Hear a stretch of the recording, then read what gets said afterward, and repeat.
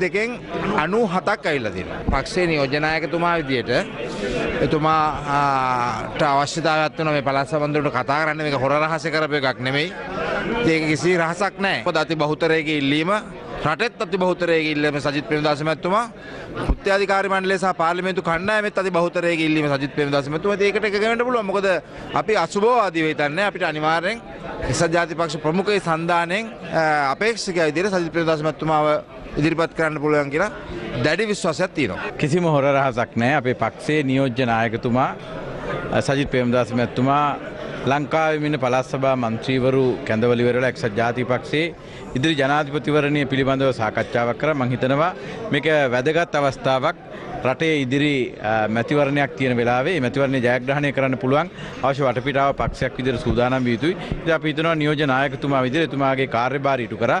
ඒ වගේම අපි විශ්වාස කරනවා මේ මැතිවරණය ජයග්‍රහණය කරන්න පුළුවන් හොඳ ශක්තියක් අද අපේ පැමිණි පළාත් සභා මන්ත්‍රීවරුන්ට ලැබුණා කියලා. ඒකමතිකවම ප්‍රකාශ කරේ සජිත් ප්‍රේමදාස මැතිතුමා ඊළඟ ජනාධිපතිවරණයේ ජනාධිපති අපේක්ෂකයා වෙන්න ඕන කියන කාරණේ. ඉතින් මම හිතන්නේ ඒක කාටවත් පැහැදිලි. මේ පුදුම වැඩේ කියන්නේ මේක තේරෙන්නේ නැති කීප දෙනෙක් තව ඉන්න එකයි.